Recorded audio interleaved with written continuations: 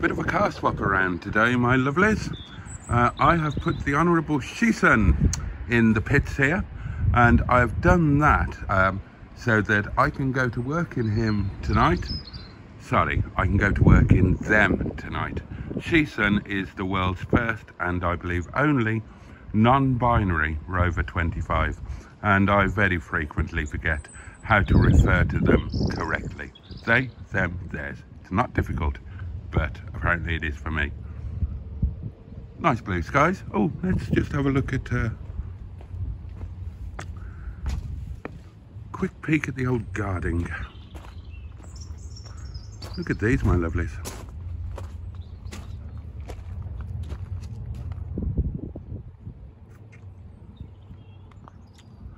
My daffs are never here for St David today, and I don't suppose they will be this year.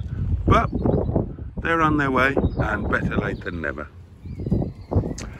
So yeah, I've put Sheeson here so I can use him for work tonight. Nice and convenient. I'm always, I'm always in a rush on a Sunday night. I've got loads to do, so I can just park up here, jump in, but it's freed up pole position for Dicker Dum Dum uh, because I'm going to be taking Dicker Dum Dum to the yard tomorrow for my yard day. And Mustard and I, oh, look at the view down there. That's nice, isn't it? Mustard and I are planning a video feature where we put um, two Rover 45 saloons up against each other.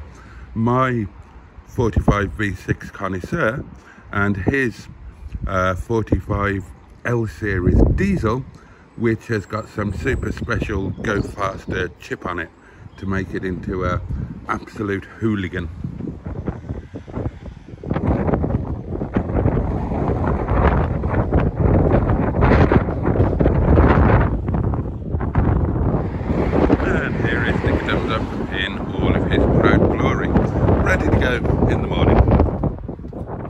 Hello darlings and welcome to Sunday afternoon at Windy Bottom. Now, I did this on a live stream, but I haven't done it on a video. And I just want to show you something that I am very excited about using. Um, as you may know, I plan to do some overnight Monday stroke Tuesday road trips um, this spring, summer and autumn. Uh, and that is going to involve staying in a hotel. And I always struggle when it comes to staying in a hotel with food because my lifestyle means that I eat my main meal very late at night and have done since I was in my mid 20s when I became a professional vocalist and started living the, uh, in inverted commas, rock and roll lifestyle. Um, which means that, uh, well, actually before then, because I was in pubs before then, so you're not finishing work until midnight or whenever. Then as a singist, you're not getting home until four o'clock in the morning. Uh, and now working in hospitality. So I'm used to eating my main meal at a time when you lot are tucked up in bed. And that is not easy in a hotel room. I also hate eating crap food. Um, and if you've ever ordered room service in a British hotel, you know it's going to be crap. This could be my saviour, the answer to my dreams. And it was a lovely birthday present of the wonderful Neil and Sophie. So thank you both very much for that. And this is what we've got. Have a look at this. Now, this is a food container, but also a food warmer. So, cutlery goes in there. And basically,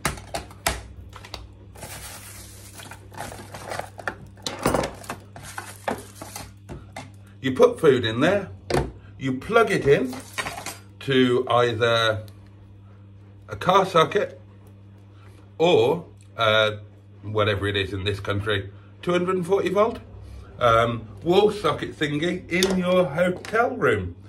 Um, and you probably turn it on somewhere.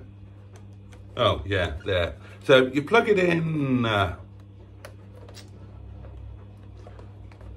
plug it in there, turn it on using that switch there, and Bob's your uncle and Fanny's your aunt. And over the space of 20 or 30 minutes, it will warm your food up. So um, I'm thinking this could be an admirable solution to my hotel eating situation type thing. So I could take staff curry rice with me, pop it in there, warm it up. I could even get a Chinese takeaway earlier on when they're open and have the uh, facility to actually warm it up at about two in the clock, uh, about two o'clock in the morning, which is when I'm going to be one to be eating it. So I'm really, really excited about this. Now, last year on road trips,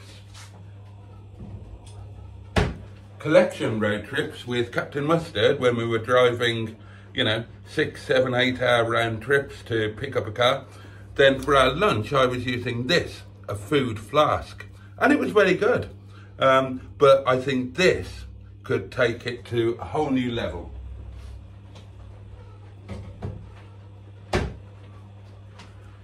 So I really can't wait to use this and thank you once again to uh, the lovely Neil and Sophie for your thoughtfulness in buying it for me. You knew that um, you knew that I was after one. You know that I'm normally skint.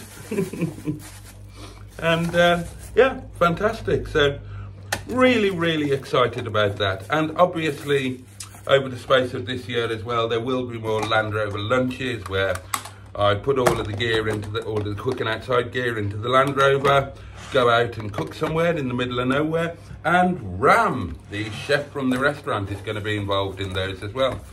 So we are going to be going to some um, interesting and slightly exotic places, and Ram is going to cook some amazing um, Nepali food. So there we go. I just thought I'd show you that and tell you how much I'm looking forward to um, to the trips. The, I'm planning the first one to be the first Monday in March because as far as I'm concerned, St. David's Day, March the 1st, marks the beginning of spring. And I've got another idea for where to go. I mean, what's on my list? Um, we've got obviously back to North Wales, uh, South Wales, going home, Worcestershire, where I was brought up, go around some memories. But Richard Hammond gave me a really good idea. Weston-super-Mare. That was my seaside when I was a kid. And he was talking about it because it was his too. And apparently there's a fabulous hotel there. Um, frequented mostly by the over 90s and it's a right old step back in time and I've googled that and I quite fancy it. It's the Grand Atlantic. So there we go. Just thought I'd show you that. Have a quick chat about what's coming up um, later on this year and I'm going to get on with making some lunch.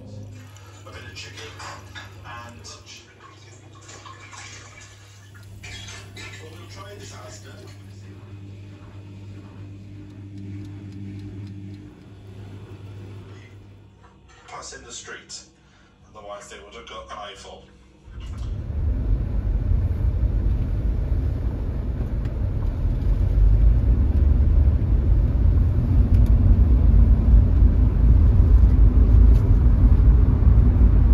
rather a nice afternoon, isn't it?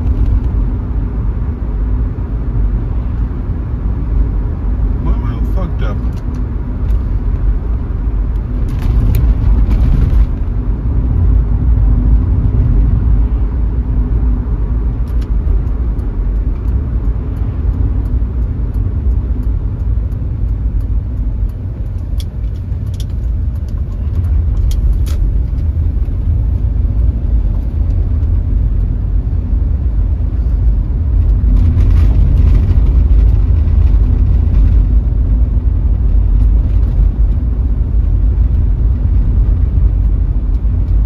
Gosh, deploying the old sun visor. Doesn't get a lot of use in uh, in winter.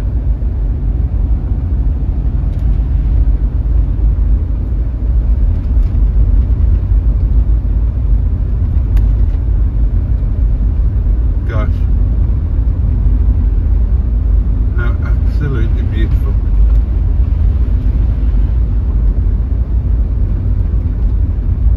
That would make a great photo. so I can get a still of this. If it was a, if there was room, I would have stopped and actually taken a, a photograph there. Absolutely gorgeous today.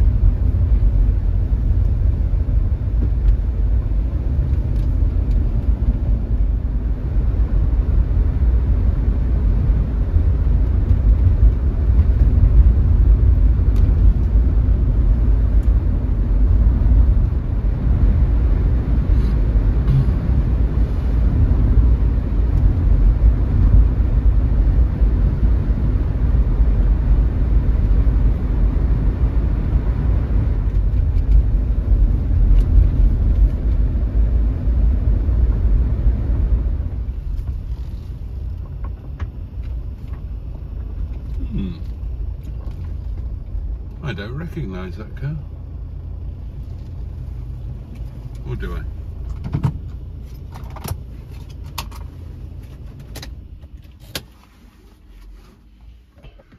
Bloody hell.